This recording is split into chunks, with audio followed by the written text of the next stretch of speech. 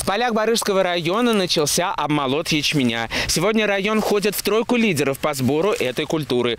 Площадь уборки составляет 550 гектар.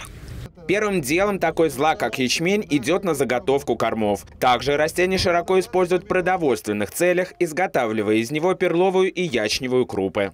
Урожайность пока ниже 30 центнеров не опускалась, доходит до 40. Ожидаем среднюю в пределах 35. По этому году, что хочется сказать, не ждали, конечно же, в связи с неблагоприятными погодными условиями э, такого неплохого урожая, но очень этому, этим доволен.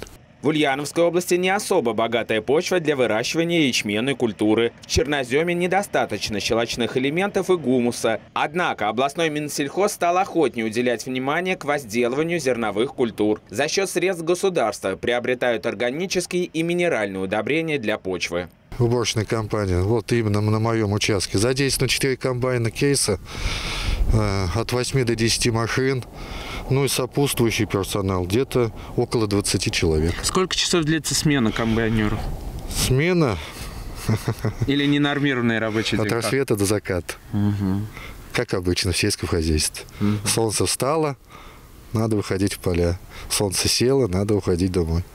По информации областного министерства агропромышленного комплекса и развития сельских территорий, на 29 июля текущего года зерновые и зернобобовые культуры обмолочены с площади более 300 тысяч гектар, что составляет более 43% от плана. Уборочная кампания продолжается.